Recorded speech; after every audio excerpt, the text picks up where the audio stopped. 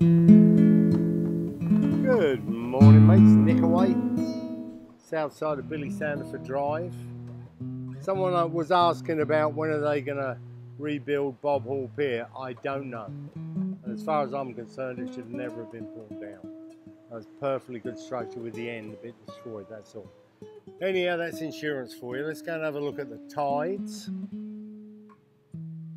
We've got a high tide at 8.46 this morning and we've got a low tide at 8.40 this evening. So tide's going to be dropping out all day once we go over the peak. A little bit of sargasso weed on that uh, high water mark there. Can you see that? Now we also have tar still on the beach. I was on the beach last night.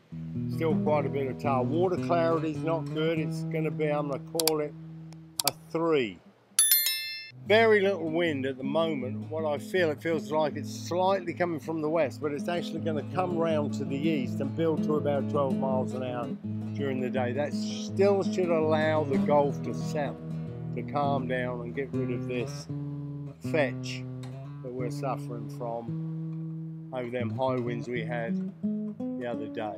Anyhow, it's going to settle. Hopefully, should be a really good weekend. Driving, going to put that well up there Going to be about a seven or eight. Okay, you all stay safe. This is Nickaway from Breakaway. I'm going to keep you posted. And don't forget, this is your best damn beach report. There is a bit of drone footage. Check this out.